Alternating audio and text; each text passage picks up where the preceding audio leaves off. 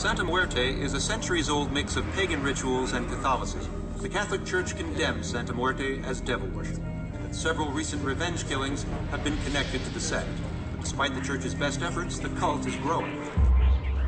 Eye on the prize, baby. Eye on the prize. Jack Bishop had a perfect life.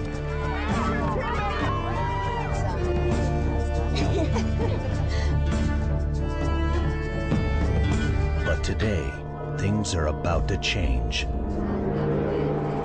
Toby, get away from there. But that stuff is kind of cool.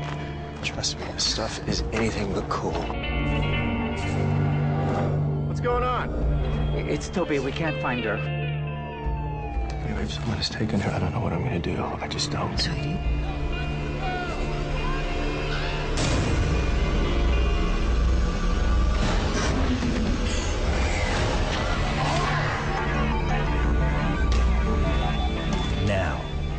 answers he seeks The FBI is going to be spearheading the investigation. So there's no one you can think of who might have a vendetta against you. only brings up questions about who he really is. We're having a hard time finding your first wife, Katie's death certificate. Do you remember where she was buried? No. You don't remember where your first wife was buried? When a man has this much to hide, Has something happened to her? You Kidnapped her. The only kidnapper here is you.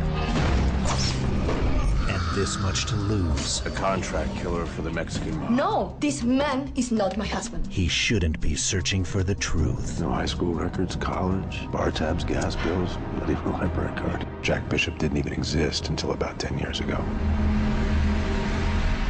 Have you ever thought what you'd do if you were face to face with the people who took Toby?